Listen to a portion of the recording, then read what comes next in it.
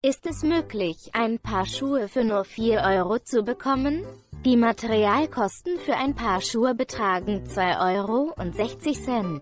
Die Kosten für die Verpackung betragen 20 Cent.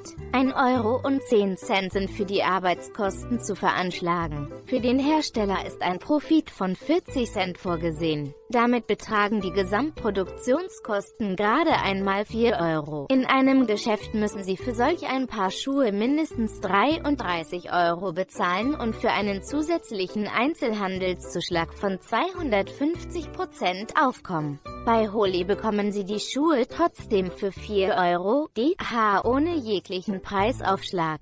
Wir bei Holy bieten alle Waren zum Einkaufspreis an.